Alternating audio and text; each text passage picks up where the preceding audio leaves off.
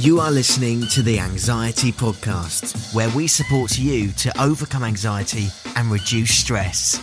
We will get vulnerable and it will be real. Here's your host, Tim JP Collins. Hello and welcome to the Anxiety Podcast. I haven't done an interview for a while, but today I have a guest on the show. And uh, yeah, she's got some great insights. Somebody who's gone through anxiety themselves and has done a variety of things to improve their lives and's got some some great stories to share along the way. So I look forward to introducing Megan in a moment. Before I do that, head on over to anxietypodcast.com for all your uh, end anxiety toolkits and all that kind of stuff. Uh, I've had a lot of stuff going on in my life lately, so it's nice to to be here and, and sharing this with you. Uh, if you follow me on social media on Instagram, you can find my personal account um, under Tim JP Collins, and on Facebook, I'm Tim JP Collins. You can see my recent announcements of leaving my job and starting my new thing, and uh, maybe I'll talk about that next week um, because there's probably lots to say about diving into something new at this moment in time. But um, suffice to say, super excited. If you want to find out more, go check out the socials and you will see all the bits and bobs there. I did want to also say thank you to my patrons. Um, if you support me through Patreon, uh, it makes a, a huge difference to me and I very much appreciate it. It's really how the the show keeps on running. That's the, the, the biggest source of it for sure. And so if you want to check out more, you can go to anxietypodcast.com and click on membership or go to patreon.com forward slash anxiety podcast. And yeah, you can throw down uh, a dollar or five dollars or ten dollars a month, whatever it is, and that goes to towards help running the show and paying the bills and, and all the sorts of things that go ahead or go along with creating this very high quality broadcast. Um, I'm now actually set up in my new home office. I'm recording this not in the car for the first time ever because I got a new door installed between the office, which used to be the living room, now my office, uh, treat yourself and the kitchen. And um, so I got some, I got a contract to come to come and install a door because I'm crap at installing stuff. And uh, since then, I've put some sort of weather stripping around the sides, and I put this thing underneath, and actually does a pretty good job of making this room not be able to hear everybody in that in the house. So there you go. Podcasting in an office is like feels so novel and not like resting bal- you know, normally I'm balancing, I'm not even joking, I'm balancing my microphone on its little tripod on top of my laptop, sat on my lap and uh, in the car. So I don't have to sweat out there today. It's nice, brilliant. Um, this podcast is also brought to you by our regular sponsor, BetterHelp. So thank you so much to them for supporting the show. BetterHelp, if you haven't heard about it before, is, um, yeah, online counseling essentially. So if there's there's things that are bothering you, BetterHelp will assess your needs and match you with your own professional uh, licensed therapist, and you can connect remotely. So they've been doing this for a while, but now during recent times even more relevant to be able to connect remotely and, and not have to go face to face for some counseling stuff. You'll get timely and thoughtful responses. Plus, you can schedule the sessions to be via phone or video. So it's up to you. If you don't want to be on video, you don't have to be on video. There was a time in my life where I didn't want to be on video. Now, you can't get me off it. Um, but yeah, you don't have to sit in an, in an uncomfortable waiting room. It's just ready to go.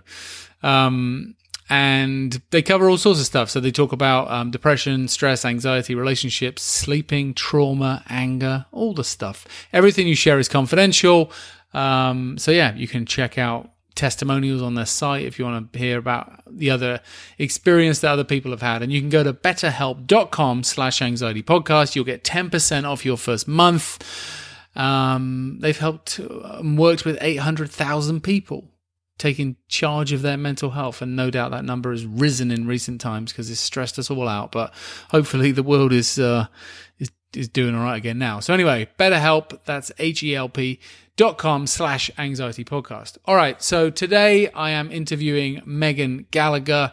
Um, she's got a great story, you know, somebody who experienced anxiety as a child and then through her teens and somewhere, I think around 14, she, she said, look, I need to make a change. I need to do something about this. And now she's out there um, presenting and talking on the topic of mental health with young people because clearly I'm too old. She can relate to them a bit better. but she goes to schools and does talks and, and shares her story to to give other people, I think, the courage to take on life and and um, yeah, do the best they possibly can. So without further ado, let's bring Megan on and get into the conversation. Here we go. Okay, so Megan Gallagher, welcome to the Anxiety Podcast. Thank you so much for having me, Tim. I'm so honored to be here. Yeah, this is fun. I haven't actually done an interview for a while. So back in the original days of the Anxiety Podcast, I did, I think I did one interview a week and I did one solo session every week. And then over time, just really more due to time constraints on my side, it's much easier just to create episodes on my own when things pop into my head. Um, but when people come along who I think have got really good, interesting stories to say, um, uh, and you're definitely one of those, then I think it's worth kind of taking the time out to do it. And now, on the basis that um, I just quit my job and um, it's coronavirus time, um, yeah, I got a yes. bit more time, so it's good. So yeah, maybe just a good place to start would be um, to tell us a bit about your your story. I know you've got quite a, a really interesting story, particularly for people listening to this. So maybe you can yeah. walk us through it, and I'll just interject with questions uh, as we go. Yeah, so I have struggled not, not as much currently, but basically on and off my whole life from you know 3 years old toddler to 17 years old I was struggling with chronic anticipatory anxiety and panic attacks, as well as when I was a teenager, it was a lot of body image issues and it was a lot of comparing myself to other girls. I never felt good enough in my body.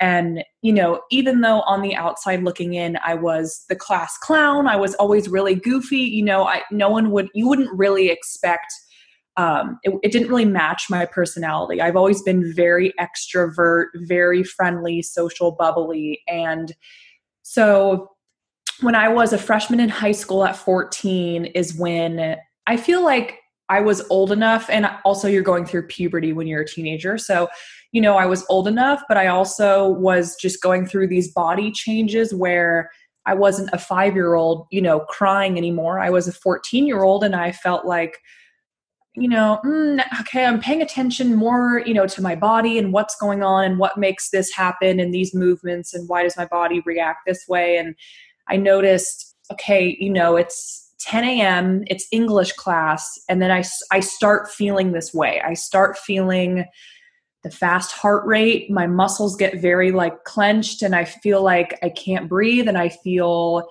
very just like I can't focus. I feel very out of my body. I feel like I'm kind of floating all over the place and like I just can't focus. Like I have to bite my nails or pick or do something. And I just started noticing it's interesting how it happens at the same day. You know, I mean, the same time, same class, like clockwork day after day. And then it just got to a point where I was almost done with my freshman year and I realized I couldn't function. I felt like, you know, my grades are being affected, my social life, my eating habits were really abnormal. I just knew that I needed help because I really didn't know what was going on. Um, in my school, there were there was no education about mental health or it was very just the basic, you know, hasn't changed since the 70s, where it's like sex ed and don't do drugs, and this is how you get into this Ivy League college, so you're set up for life. But I was like, why aren't they talking about just like how we're feeling? Why why does no one talk about our thoughts and all that stuff? So that experience personally just my own journey but then also noticing the lack of communication in my school and amongst my peers it me to be the person now as an adult that goes to middle schools and high schools and sparks that open conversation of it's okay if you're feeling anxious. It's okay if you're feeling depressed. It's if you're feeling not good enough.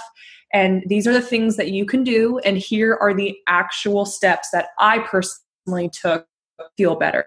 And i went to therapy I started having a morning and nighttime routine. Even before school, I would wake up, journal, work out. I wouldn't look at phone. I, you know, didn't drink coffee. It's just little things that I did over time really, really helped me. But I will say this with anxiety one, you have to want to get better because that's like anything you can water, but you can't force it to drink. So if you are struggling with anxiety or depression you like you have to want you have to have the like internal decision of i am feeling this way here but i want to be up here. So how do i take that leap from here to here? You have to want to get help and want to get better because it's like getting into shape. No one's gonna do it for you. You like you have to pick yourself up put on your workout clothes drag yourself to the gym that's like with anxiety. Your mind is a muscle and you have to work at it every day. So it's it takes work and it takes the you know the choice of right now i can choose to watch netflix for 2 hours or i can choose to you know journal my thoughts. I can mm. choose to listen to a guided meditation. Yeah i think that's i mean i think that's huge as well. I had um one of my multiple interview uh, interviewees in the past would always say that. Um, I kind of asked him the question, "What does make what does make uh, kind of cause people to change their behavior?" And he said, "When the pain gets bad enough, that's when people change. When the pain gets bad enough." And also the analogy of like, you know, the the two old men sat on the front stoop of their house, and the dog walks over and it lays down on a nail, and the guy's like, "Hey." Your dog's laying on a nail. You're not going to move it. And he's like, no, no, no, he'll move on his own when it hurts enough, when he feels it. Right? Yeah, yeah. And so I think that's such an insightful thing you said about people have to want to do it because you would assume that everybody who's feeling discomfort wants to feel better. Not not everyone wants to feel better, and that's one thing that yeah. I think a lot of people are shocked about. Right. Because some people, well, there's that in itself is a whole sort of minefield of discussion to go into. Some people um, it becomes their identity or they they resonate with it because it supports the ecosystem there so within. true. Um, but yeah for sure. And i think for me in my personal experience it was kind of like to start with i didn't want to admit i had anxiety. So i just sort of said well maybe it's just stress or i should just have another beer and hopefully bury it a little bit right? Yeah. um, and do those sorts of things. But it took a lot because of the shame associated with it. And i think mental health's come a long way in the last 10 years. But um, I think because of the shame associated with it, I would I would think like this is the weakest possible thing to admit to ever. Yes. To say I have anxiety and I can't control it in, at this moment in time, right? Yeah. So yeah, I think that is key. But once you get once you can flick flick the switch, and that's kind of what I talk a lot about on this podcast, and how you can take start taking the incremental steps to feel better, whether that's you know nutrition or diet or exercise, whatever that happens to be um, then everything becomes possible. Everything becomes a possibility. And, and yes, I was thinking just this morning about you know that concept of you can either watch Netflix, which is very interesting and very alluring and designed to get your attention. That's why they have now they have the top ten shows and they send mm-hmm. emails when new things are coming out. Like it's damn good. Um, but at the same time, that you know three or four hours of watching episodes could be three or four hours of learning or half that amount of time or any of that amount of time right? Yeah. So yeah.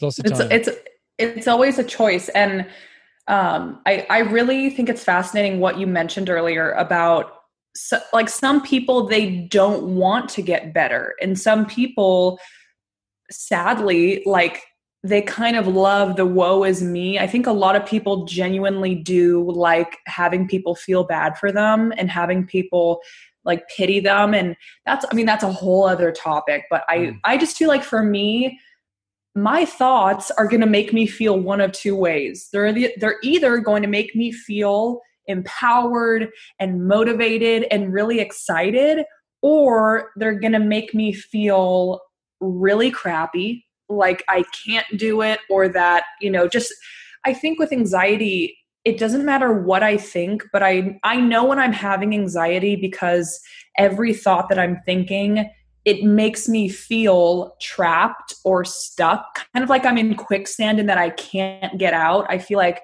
anxiety is just I know how I'm feeling. It's like I'll never like I'll I can never get better. I can never get myself out of this situation, but it's just not true. Mm. Um, I think that's kind of what a lot of people have felt. I think a lot of people have felt anxiety for the first time during the coronavirus thing. Because, yes, because that was a that was a great example of something which didn't have a defined end. It didn't have a defined timeline. Nobody could mm-hmm. tell you mm-hmm. we're definitely going to. I mean, we still don't officially have like a um, a vaccine for it, so nobody can tell you like it's going to be cured. It's it's uh it's uncertainty, which us anxious or historically anxious people we're very familiar with that. Um, but for everybody else in the in the population, they're like, "Oh my god, this is you know very unsettling." And I'm like, "Yeah, welcome to anxiety. That's what it feels like all the yeah. time." right? Yes. Um, when I was listening to your TED talk, you talked a little bit about, you know, you were going through some of that journaling and exercise and and doing all those activities, and then you went. Um, you were describing going on a trip to New Orleans. Can mm-hmm. you talk a mm-hmm. bit about why you went there and, and what that experience was like? yes. Okay. So first of all, New Orleans, this is not to like promote anything, but New Orleans is literally my favorite city ever. It's the fun. I love the South. It's so fun. The community, like, the, I mean, just so for me, it was I was 16, a sophomore in high school, and it was my summer going into summer going into junior year. It was summer break. And I felt like I had been in therapy for about seven months, and I really had learned enough tips and tools on and I did a lot of hypnotherapy too, which really helped me get to the root of why I'm feeling this way. And, you know, my childhood and just my childhood was amazing, but, you know, a trauma is a trauma. And it doesn't mean, you know, it has to be something like horrific, but everyone has, you know, why they think the way that they do, why they act the way that they do. And for me, my anxiety, it's hereditary. My dad has it, so it runs in his side of the family. So, just the therapy really allowed me to just kind of like look at myself from an outside perspective and to not judge myself anymore of come on megan like you have it your life is so good you you have it so good you grow up in this town your house is you know what is there to be anxious about but it's like no that's not fair to do to myself because my mind is wired but it's also gotten me to where I am today. So it has its benefits because I feel like I have so much energy and I'm constantly overthinking everything. So it really has served a purpose where it it allows me to like if I fixate on something, I don't stop until I get it. So that's like you know, my TED talk for example, it took me 2 years to get it and I didn't like 2 years and I just did not stop. But back to what you were saying. So, mm. New Orleans, best city ever. When I was 16, summer going into my junior year of high school, I thought, you know, I feel like I want to do something different. I'm ready for like a change. I just want something awesome. And so my parents, they were, you know, Googling teen adventure summer camp programs and they came across Rustic Pathways, which once again, it's an amazing kind of um, travel program for teenagers and they can do community service focused trips or they can also do photography just different things and they literally they go to every single country and continent it's incredible wow. so at first i was like you know what i'm ready to push myself outside my comfort zone i'm going to go like a little bit but i don't want to go too far so i thought i'll stay in the united states i'll mm-hmm. go to new orleans but um, and then I remember like we signed up and I was like, heck yeah, I just did it. And then the reality kind of set in of like, wait, I still like, I, oh my gosh, how did I do this to myself? Like, I'm going to have, I'm the one who has to get on the plane like by yeah. myself. I just screwed myself over. But it literally, it was, it was the greatest trip ever. And I remember just the weeks leading up to it when we got my, um, list of like the packing items I should bring just started becoming more real. And I was like, oh, wow, like, oh, no, I can't do this. And then um, the day I left 6 a.m., my mom woke me up. And I talk about this in my TED talk where I just looked at her and started crying because I was like, mom, help me. I can't do this. And so, but I, you know, I did it anyway. And that was just a really powerful moment where I knew that my mom loved me I knew she loved me, but she said, Megan, this is your anxiety talking. And I can tell when you're like the real Megan, the happy, bubbly, versus like the, uh.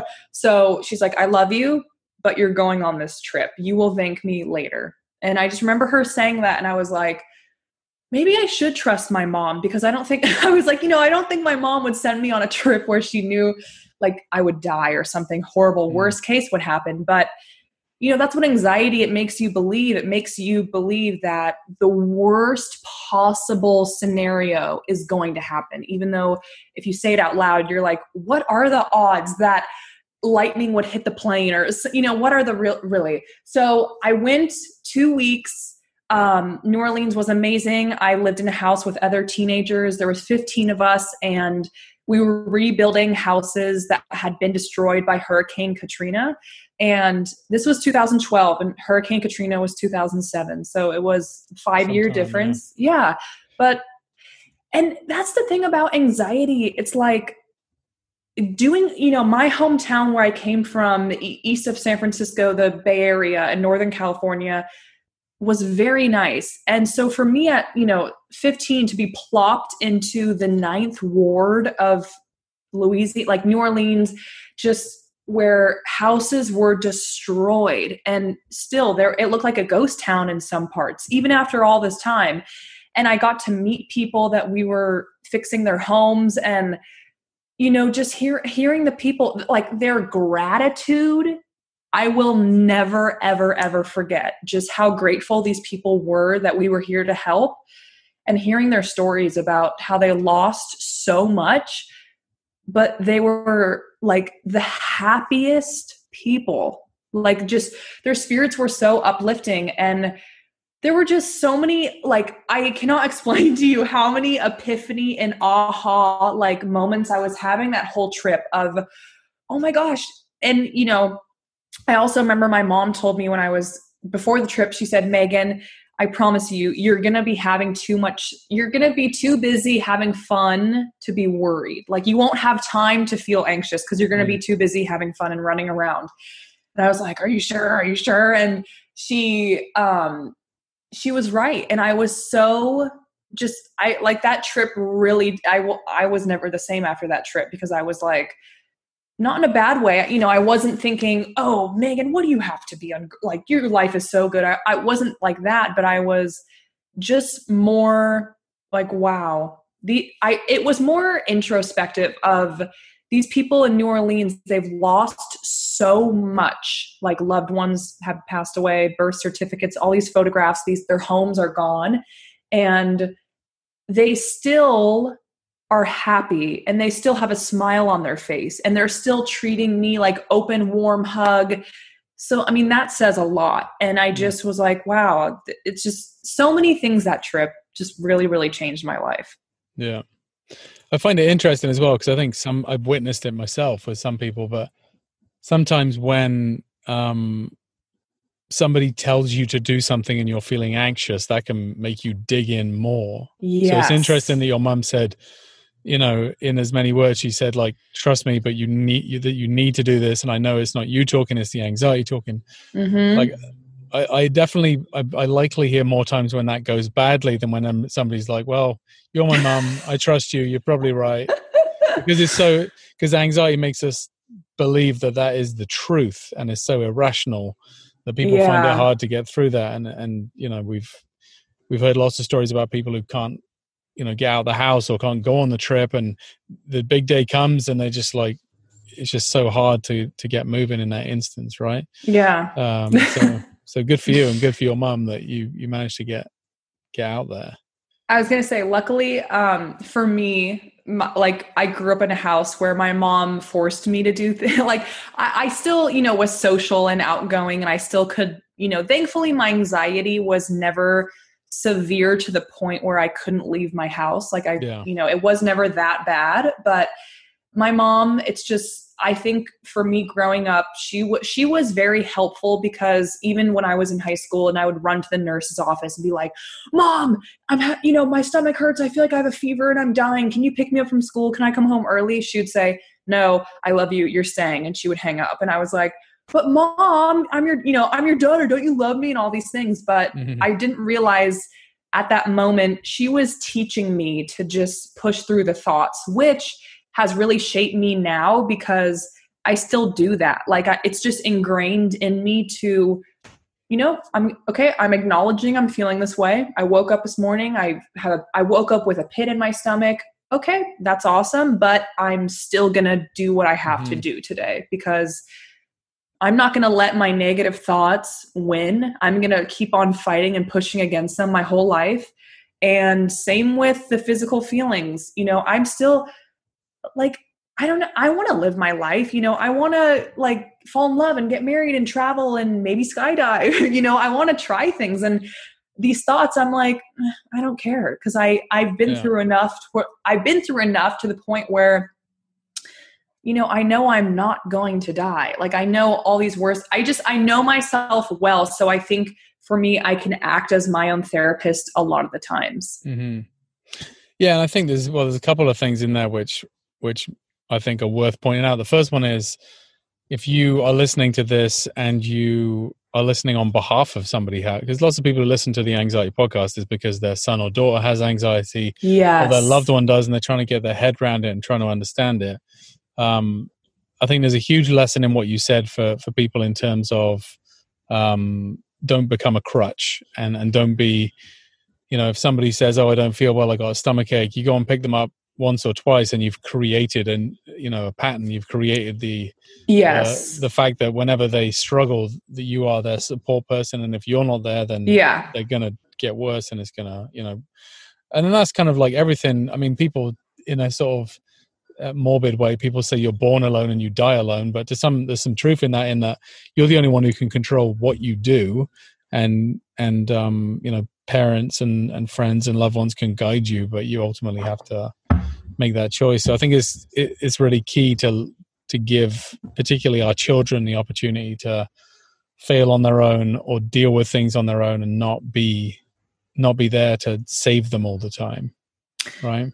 Yes, and I really feel that you know, if anyone listening does have a loved one or a family member, a roommate or a friend, someone you deeply care about who you feel is suffering from anxiety or some sort of just overthinking, they're constantly negative or they're constantly thinking the worst case scenario, um, just be aware of the role that you play in their life because, like you said, if they start connecting the dots and their brain starts thinking, oh, so every time I call Megan, you know, I know she's going to pick up and she's going to take me home or something like then they start creating this like positive reinforcement reward behavior thing in their brain where they're like oh so it's good to stay and then before you know it that person is just you know they're not living life. They're staying home all day long. They're not pushing themselves outside their comfort zone. They're you know they're not going on dates. They're not because they they have a story of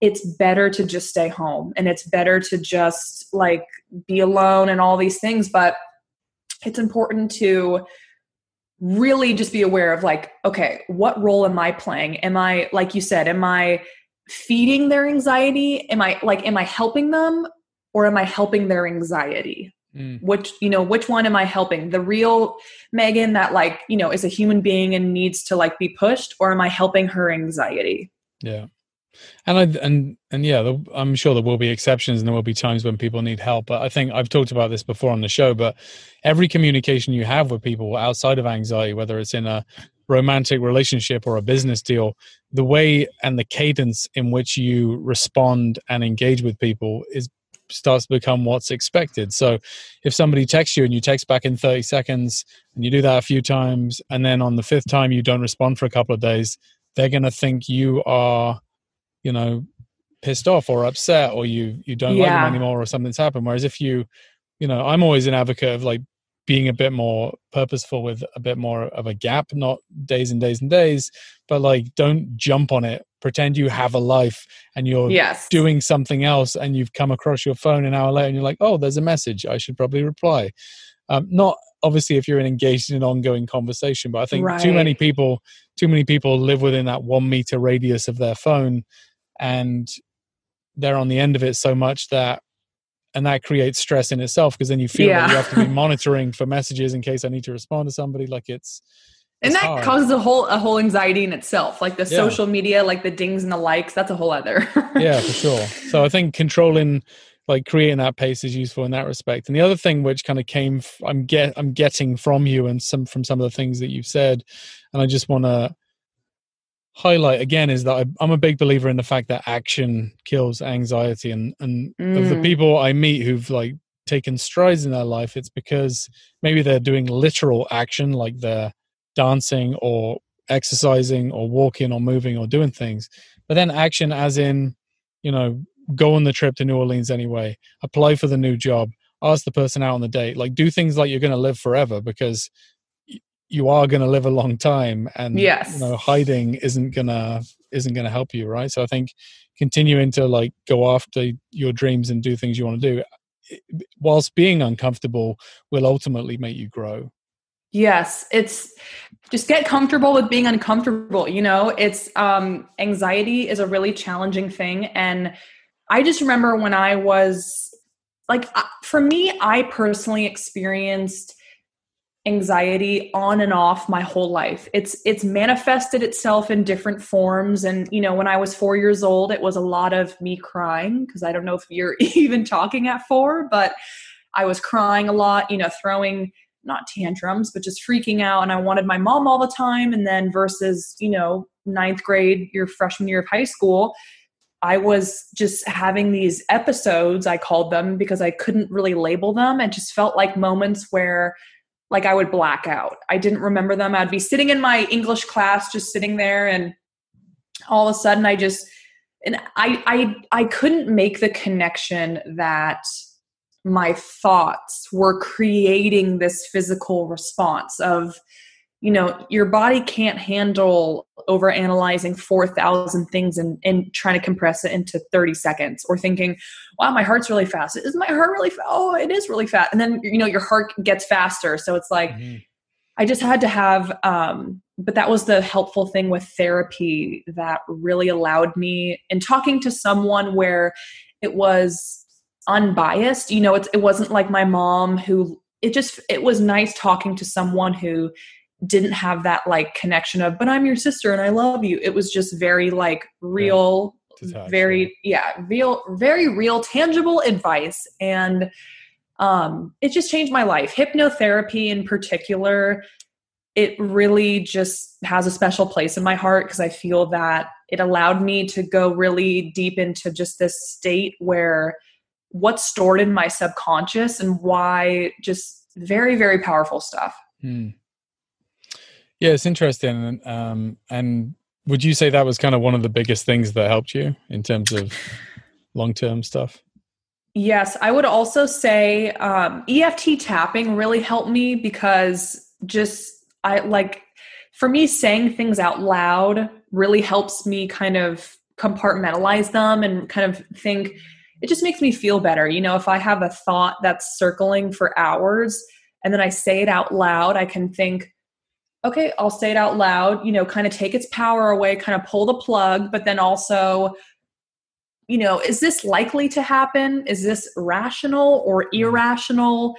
Is this something that my mind is anticipating? Is it, you know, is does this thing has it ha- even happened yet? It's just really, really powerful just to take note. But yes, hypnotherapy genuinely changed my life. It really just going into like a calming trance and it's like, you know, you're being hypnotized. So you go into this trance where you know they're like okay megan you're light as a feather. You're walking down a staircase. And you know count back from count backwards from 10 um you open the door and what do you see? And you know it's just very like your inner child childhood work. Um but you know i i just had a moment i remember when i was in hypnotherapy and i was 14 and i was thinking oh my gosh, you know, I opened the door at the end of the staircase and I saw myself at three years old. And I remember looking at her and I started crying because I was always so worried at that age and crying and freaking out. But a part of me felt sad for that little girl because I was like, why are you so sad all the time? Like, you should, a three year old shouldn't be sad all the time. You should be Mhm. happy. You should be, you know, like excited about, you know, just, I don't know, a normal three year old. Like, why are you so upset all the time? But yeah it it just yeah hypnotherapy eft tapping um, emdr very helpful also just taking time. I think it's important now as I'm an as I'm an adult of just whenever I need those moments, whether you know it's after a business call, I you know just worked out, whatever I'm feeling, just to do what feels good to me, whether that is rolling out a yoga mat and just lying down, putting a hand on my heart, a hand on my stomach, and just breathing, or if that's like googling guided meditation on youtube and just listening for 30 minutes or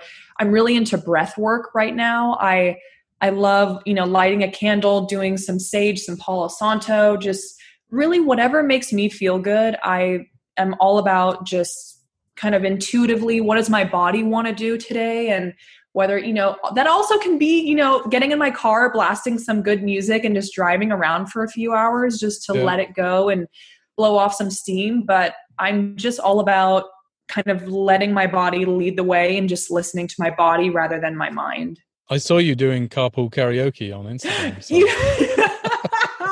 yes, I'm trying to make that a series. I love the show Carpool, like oh, yeah. the late night show. Yeah. yeah, of course. James Corden, he's like my that's who I want to be. Like he's just so the fact that he can sing all the songs sometimes as good as the people whose songs they are. I know. Have you seen the crosswalk karaoke like the the crosswalk one? no, I haven't seen the crosswalk one. oh, you need to watch that. He get like they have this they do all these musical themes. So one is Beauty and the Beast and literally James dresses up as Belle, the princess, the Disney princess, and they're walking in the crosswalk. It's the fu- like the funniest thing ever. right, I'll watch it after this. um, I was thinking the other day, somebody was somebody would was messaging me and said like, "How can my brain think up such crazy things?" And after I finished that conversation, I said, "Well, in my in my mind i'm thinking about this and i'm like well think about it this way like our brains are like super powerful and clever but we also sit in front of the tv watching a horror film. I don't like horror films but watching like Nef- watching netflix and we we're we're in it. We're emotionally connected to the characters. Mm-hmm. even though intellectually we know that that's there's a camera over there and that person's you know somebody else who we've seen interviewed who's a celebrity, but we're yes. buying it, we're believing it yes. in that moment. So that just that proves the whole theory that like we're stupid and really clever at the same like our, our minds are like both simple and complicated in that we can believe something yeah. we know is manufactured i'm crying because i'm watching the notebook i'm excited isn't that crazy like, though because that's the human part of us that you're right a part of our brain makes the connection of oh wait there you know this is a movie set. This is filmed in a giant warehouse in england. You know it's mm-hmm. not the countryside of like i don't know italy. But part, our heart like our human side is like he didn't call her back. Yeah. you know and then we start crying. But it's like that's just the power of our minds. Our minds whatever you tell it it will believe it. Right which is and uh, i've experienced that more recently with like now you have the kind of phenomenon phenomenon of netflix series and uh or and when you can kind of like binge watch five episodes or ten episodes in the three series i now experience when i get to the end of that and i've finished all of them i'm like but what are they doing now mm-hmm. and where are the, where are the people now like you're just sad it's ended because you want to keep just, living oh, in that oh. world right I can't tell you how many times I've gotten like Stranger Things, um, Lost. I've gotten just so many great TV shows that I've personally gotten very invested in. And then when it ends, I feel like a part of my soul literally yeah. goes away. it's like the equivalent of like holiday blues, where it's just like, I don't know what to do now. now oh. go, and then people go, like, I suppose you go and find something else, right? Yeah. yeah. So since you're you've kind of um, your New Orleans experience, tell us a bit more about your sort of life and trajectory. What have you been doing since then? I know lots of things, but yeah.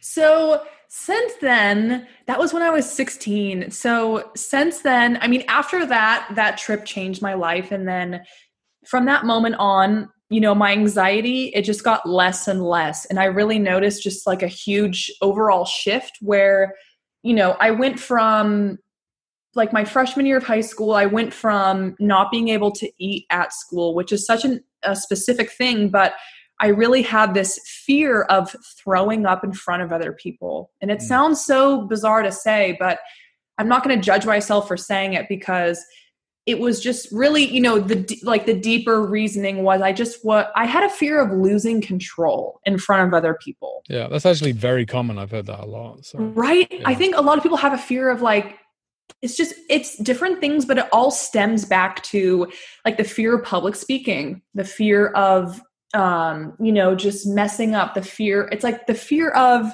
rejection losing control i have a fear of yeah. Right. It's all the same. It just kind of comes back to the same common fears. But so I had a fear of throwing up in front of other people. So I literally, you know, morning time school, I had like a cracker. And then I would get home after from 8 a.m. to 2:30 p.m. and I would just like binge eat and I would like stuff, you know, not stuff my face. I didn't have an eating disorder, but I would just eat normally. So for me to go from that where I was like starving throughout the day, I was so hungry, but my mind literally believed if I have a piece of food, I'm going to go sit in class and I'm going to throw up in front of other people. And it's going to be horrible. You know, it's going to mm. be, people are going to see the real Megan and they're going to not invite me places.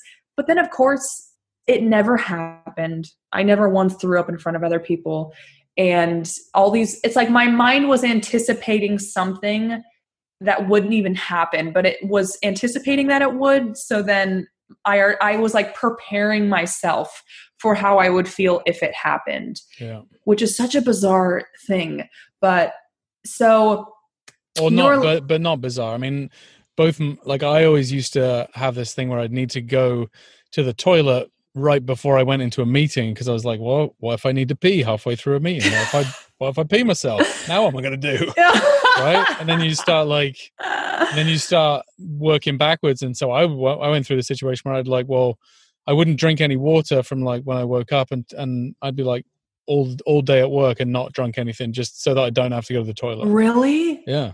So the Whoa. same, you know, similar theme that you're like worried about embarrassment or you're worried about the what ifs and then you, the more you focus on it the the kind of more restrictive you get in your behavior as well so yeah yeah it was just interesting but so that was sophomore year and then ju- my summer going into junior year or my sorry my summer going into senior year of high school i went on another rustic pathways trip and i went to fiji and that was so much fun. That also changed my life. But after New Orleans, I was like, you know, I can prove it to myself. Like I can do cool things. So then I um, went to Fiji, which is like the other side of the world, and mm-hmm.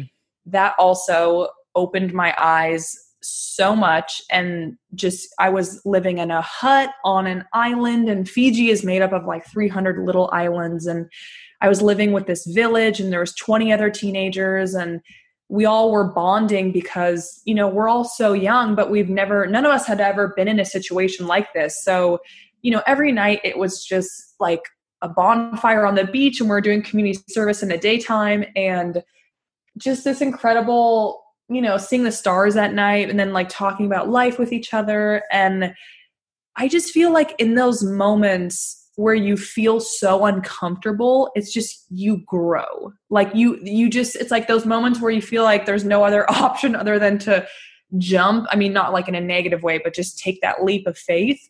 You just learn so much about yourself. And in those moments i just like my self-esteem went up so much because i was like wait I, I like I I can do this, you know, all these things that I was talking myself out of and like, no, Megan, you can't do that because you're Megan Gallagher, so you can only do this. But it's like, no, no, we can any anyone can do anything anytime. That's what I always say. So yeah. it's just really realize like, you know, our mind is powerful. It can, you know, convince us anything, but we can, you know, our bodies are a lot stronger than we think. And same with working out or pushing yourself mentally or physically. We can do a lot of things that I feel like we kind of talk ourselves like we don't believe that we can do something. So since then, you know, I graduated high school, I moved down to LA, went to college for 2 years. didn't like it. I, you know, just was like, school's not for me. And I told my parents, and they were like, amazing, we'll support you. Mm-hmm. And then after, yeah, the two years I left college, just wanted to find my passions. And then I really realized, you know, I think I'm meant for motivational speaking. I've always loved being on stage. I love helping other people. I love just being a light and a positive role model for teenagers specifically because of everything I experienced. And it's just very special. I mean, I really feel like I have like a God given gift. I really do. And I'm not very religious, but I just feel like I have a very unique purpose in life. And um, it just feels it just feels right. Like I love listening to people. I love talking to people. I love expressing myself. I love just yeah, I mean just being like a positive light and an influence that people can think oh, you know, this girl, Megan Gallagher, went through this, and this is how I'm feeling. And I know I'm not the only one feeling this way. And I know I mm-hmm. can get through it. And I feel like that feeling is just priceless. And really, it just comes back to being the person that I needed when I was a teenager. Now I am that person that, you know, 16 year old Megan, 24 year old Megan, it's like I am that person for her. Yeah. I yeah. like that. I mean, that was kind of why I got into podcasting in the first place because I couldn't find anything that was that wasn't very like boring and yeah. soft voices. And I was like, I don't want to talk like that. I want it to be like upbeat and positive, and we're going to get through this, and we're going to have a future, and it's going to be exciting. You know. Mm-hmm. Um. So that was kind of like always my thought from the outset. But but yeah, I totally. And and I remember listening to Tim Ferriss back in the day, and he said something like, he used the sort of term "scratch your own itch." So like create something that you uh, you at least yourself would be a fan of or want to mm, listen to. Mm, I love that. So, Scratch your own itch. That's yeah. cool. So if you're doing it, if you have something that you think you would have wanted, then it's likely that other people would have wanted it as well, or would want that type of support as well. And I think now, like you know, with the coronavirus thing happening now more than ever, people are going to need more help and certainty and positivity and all that stuff moving forward, right? Like it's uh, it's definitely made some people stop and reflect.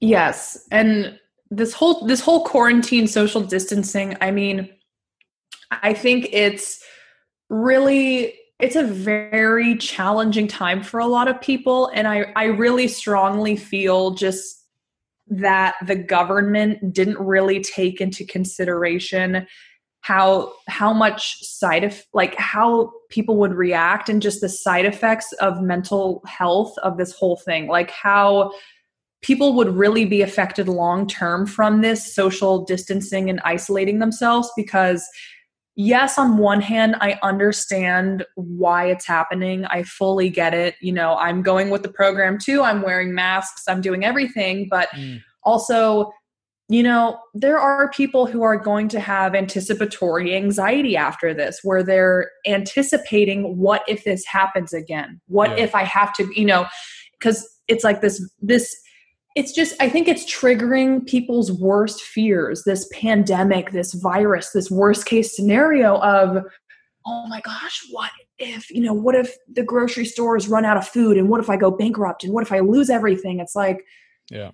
Yes, but also you know it's just it's really challenging and i feel like the government really didn't think about oh people could you know start ending their lives. People could develop depression from this and my heart just goes out to all the people in places like New York, New York City, where they're, you know, in these tiny little studio apartments and they are just like claustrophobic and they can't leave and they're just like getting cabin fever like mentally that is so un- that's so not good for you. And i just feel you know what's happening it's real and it's scary and it's upsetting but it's also just the mental health side effects from this. And you know some people are going to have ptsd from this it's just it's really really yeah. really sad.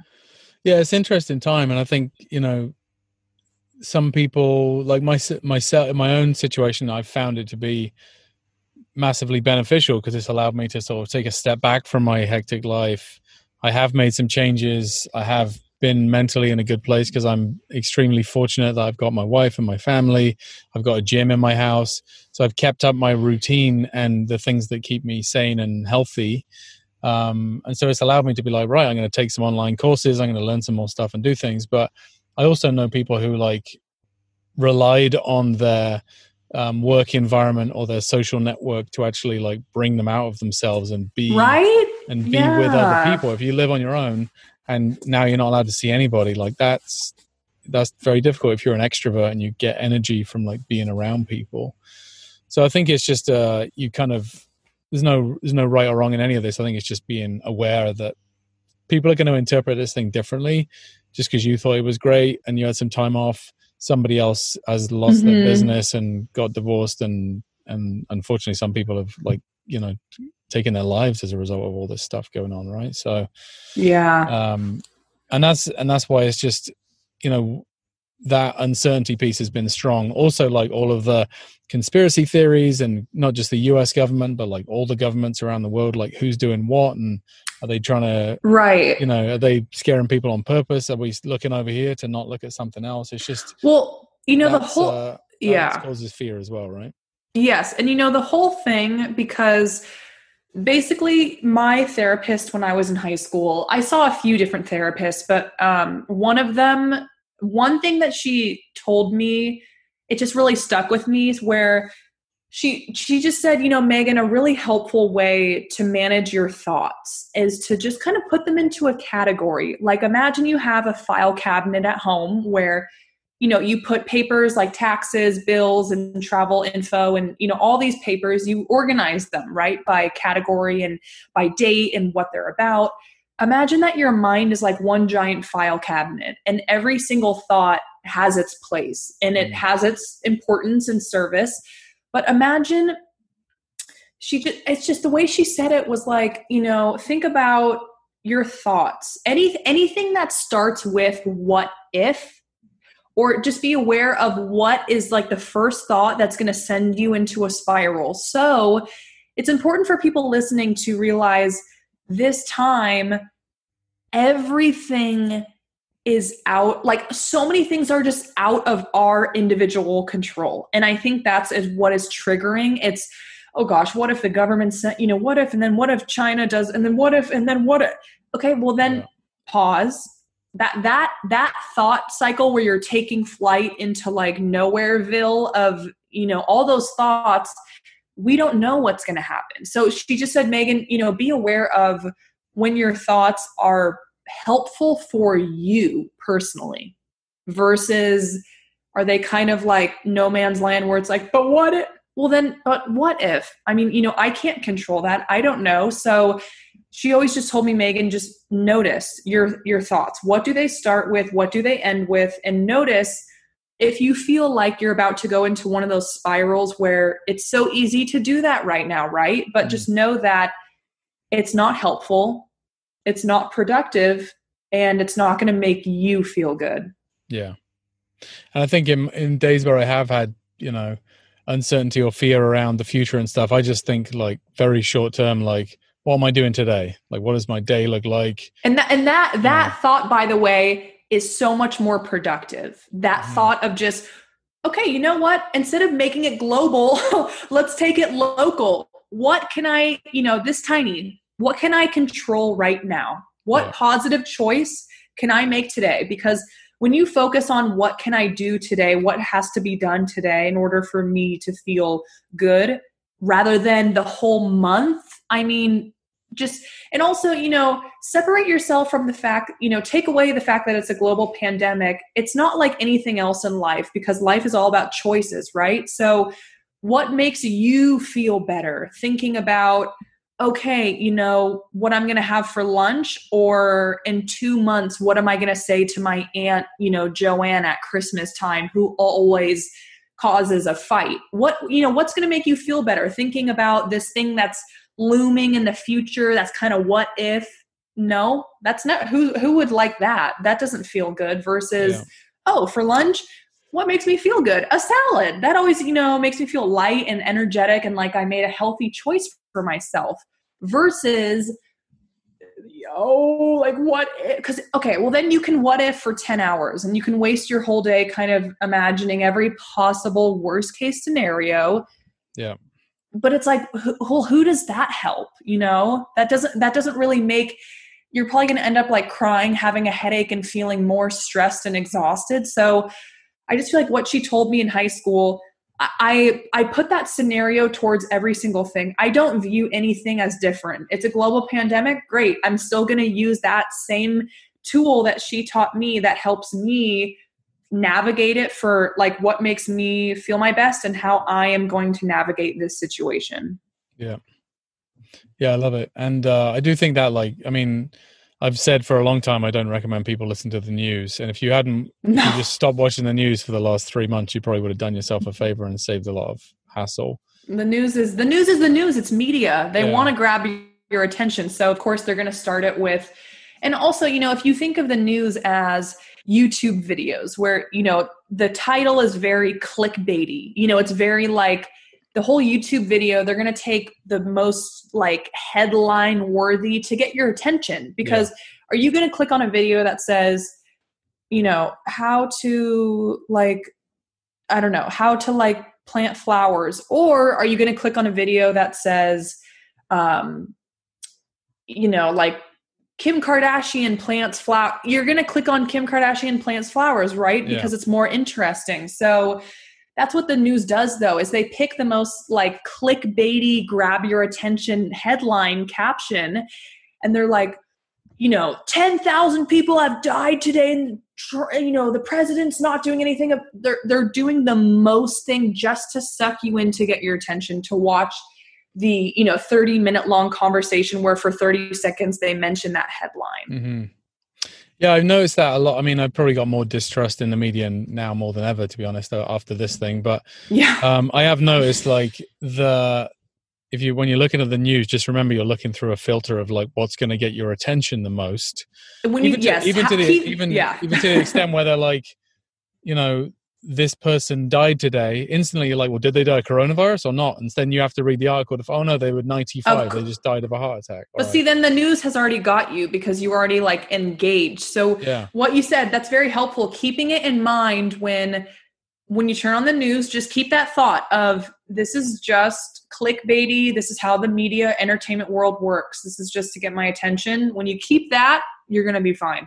Yeah yeah, you have to know that you're looking through a filter for sure. Yeah. so what so what are you doing now? Give us the give us your latest and greatest um update coming out of the yes. coronavirus time. What you, what projects you working on? Yeah. So currently um this t- during this time i'm working on my fourth book i'm really really really excited um, i am working with a ghostwriter and really you know my first three books were all self-published on amazon and that was amazing but this one I'm just, you know, financially in a better situation. So thankfully, I feel very grateful that I can, you know, have like a publisher and an editor and all these really fun things. So I'm very excited and very grateful.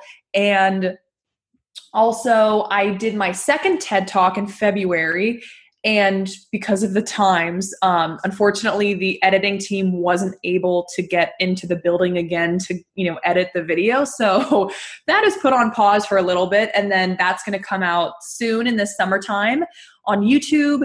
Um, and i started my podcast reaching new heights. That is i'm on episode nine but reaching new heights it's really self-explanatory you know it's all about what i feel every time you level up in life and you you know overcome that challenge you you know just make yourself proud you do something that you didn't think you could do it's like you're mm. reaching new heights and you know you're ultimately reaching your best highest potential possible um, and then I have so many things. I have just all this during this whole quarantine, I've been doing Instagram live interviews with celebrities, influencers, artists, singers, songwriters just you know people like CeeLo Green and Mariel Hemingway and mm. Adam Glassman and all these people who work at magazines and everything just just to hear their opinion you know to learn what they're doing and I think it's really powerful when people realize you know people like CeeLo Green and all these celebrities I think it's very refreshing when people can hear that and be reminded that they're just a human being too you know they they have a challenge challenging days just as all of us do. And just for his fans to hear you know like what is he specifically doing during this time to stay yeah. mentally well and healthy and everything? So that's been very very fun. Um and then yeah i mean i just have so many fun things going on right now but i just you know i'm in a very great place in my life Yeah. but mine is quarantine. But also you know i'm such a naturally positive person. Like i swear anything that happens my mind literally like assesses it and finds the silver lining. Like it's just how i like operate. Yeah. Yeah totally. I saw you um i think i saw you on uh instagram live talking to Farrah. Is that her name? Yeah Farrah um brittany um her last name i don't know it off the top of my head but Farrah yes she is the daughter of kyle richards who is a housewife on real housewives of beverly Right. hills yeah yeah because um yeah she's from the real estate world anyway so i kind of know i know that. Yeah! I know, know Oh my gosh. through that yeah Yeah, do you know her dad or her stepfather Mauricio? i do know mauricio yeah like i don't know him personally but i know he is i know the company the agency and yeah Oh my gosh, what a Yeah. small world. yeah yeah so i, I work for uh, a technology company in real estate and they're one of our customers so yeah No way. yeah Oh, that's awesome. Um, Yeah. but yeah, you know, Farrah was uh, I mean, I've been such a fan of hers for so long and she Mm. was so incredible. Like she was so open and honest about her journey with anxiety and she, you know, just it's just really it's very just refreshing. And that's I use that word so much, but it is when people come together and just, you know, talk like real life stuff and yeah just I I had no idea that she suffers from chronic anxiety and she said that her mother does as well and her a lot of members of her family have, you know, chronic every day on a daily basis anxiety that they work through. Yeah. Yeah, you don't expect it a lot of the time. But that's I always say like that's one of the gifts I've got from interviewing so many people and speaking to so many people and doing some coaching and just now more so just having connections with people through social media because um so many people suffer. And that sounds Mhm. you know and that sounds bad but it's also brilliant because it means if you're on your own thinking like oh nobody can possibly feel as bad as me. Well guess what? Loads of people do. Most people you know it used to be like one in three people have anxiety. It's probably now like three in three people have anxiety after this thing that's been going on but yeah everybody i think a lot more people can now understand and and empathize with how it feels And one really quick thing, I think it's very powerful, you know, for young people to hear that just, you know, there's people like an example, Kevin Love. He's a professional basketball player. He's clearly very successful, like well known public figure, makes a lot of money. He talks really openly about his journey with anxiety. And it's just so awesome when people, you know, like at his level, I mean, he's really famous, well known, he's incredibly talented. When people who are like professional athletes, these very like famous singer song, when they talk openly of, yeah, you know, sometimes I have sleepless nights, sometimes I, um, you know, have to take medication, like it's just so awesome because it allows teenagers to realize, wait, you know, my mental illness doesn't have to dictate how successful I am. Like, that is a game changer. When you really realize wait my anxiety it, it's not because i think people freak out too like oh if i have anxiety or body image issues or something then that means i can't do xyz but it's like you can literally do whatever you want. Whatever Yeah. you believe you can do you can do it. Yeah, and actually watching that um the Last Dance, the Michael Jordan episode on Netflix, like yeah one of the things that somebody talks about in one of those episodes is basically saying like everybody thinks like it's amazing to be Michael Jordan, but he never stops. Like if you watch him, he like goes into the arena, he speaks to fans, he signs things, he speaks to reporters, then he does the warm up and gets his whole team motivated and going. Then he plays the game, wins the game. After the media throng, then people want to meet him in the room afterwards, and so it's like, yeah, that doesn't actually look fun at all. If you could, because he's just he's just always on, he can never stop, right? So that's kind of a bit of an eye opener. But my, I was going to say my favorite celebrity through the uh, coronavirus has been Dwayne Johnson, The Rock, because yeah he's just such a bloody nice guy. He's just, he, you know, comes on and does his Teremana tequila tasting sessions and does his cheat days on Instagram lives. But he's just like, he just seems like the nicest, most down to earth yeah mountain of a man ever. Like he's just so considerate of other people. He's just such a nice guy, right? Yes, I've Um, I've heard very good things about him. I've heard he's very, very, very, very like kind and genuine. Yeah, seems to be that way. Yeah. Yeah. Well, thank you so much for your time. Um, where's a good people for a good place for people to look you up on the socials or your website or anything? So like I am everywhere. I I am everywhere and anywhere. um, so I have Facebook. I have a personal page, and I also have a business page. It's just Megan Gallagher, and if that doesn't come up, you can search, you know, Megan Gallagher TED Talk speaker, motivation, right. anxiety, mental health. Um, I have Twitter. It is Megan W. Gallagher. That is also my handle for Instagram, Megan W. Gallagher. Um, I what does the W I, stand for? It's my middle name, Wallace. All right, cool. it was my grandfather's name, so I was named. My middle name is after him. Right. Um, and so and it's also helpful because on social media i have the same profile picture for all of my accounts so it's very recognizable right. I also have LinkedIn, Megan Gallagher. I have YouTube, Megan Gallagher. I do vlogs and anxiety wellness videos, and um, my podcast episodes are video and audio on there. Um, I have my website. It is meganwgallagher.com. That's with all my books, blogs, contact info. If you want me to speak at your school, panel, whatever, it is all there. Um, and then my email is motivational talks with Megan at gmail.com. there you go. I think amongst all those things, people will be able to find you. I know. people like, can you spell Gallagher? I'm like, give me a second. What's that? Yeah. it's the, spelled the same way as the Oasis boys, right?